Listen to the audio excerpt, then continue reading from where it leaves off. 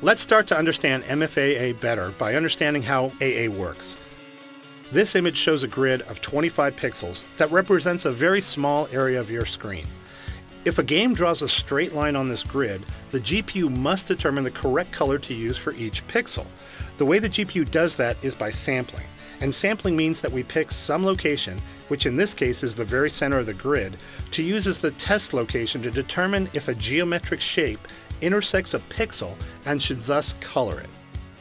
You can see that we get a very jagged edge when we use one sample since each pixel needs to make a binary decision about coverage. Traditional AA improves this a lot by taking more than one sample per pixel. In this image, we're showing two sample points per pixel. Now for each pixel, the GPU calculates two coverage points. If a particular geometry covers only one of the two sample points, then the final pixel color is of course the average of the two colors.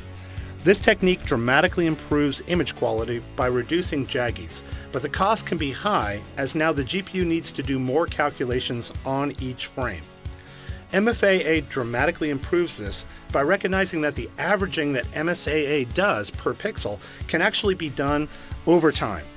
In the first frame, let's assume that the following grid of sample positions is used. You can see the image here is similar to what no AA looks like.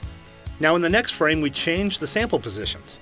You can see how the generated image is slightly different from the prior frame, with just a few pixels changing from light to dark and vice versa. We can then run a sophisticated filter on the GPU to combine the series of frames and deliver an image that's nearly identical to 2x MSAA. The great part about this tech though is that the delivered performance is nearly identical to no AA. This technology is accessible in NVIDIA's control panel and can be enabled or disabled per game as desired.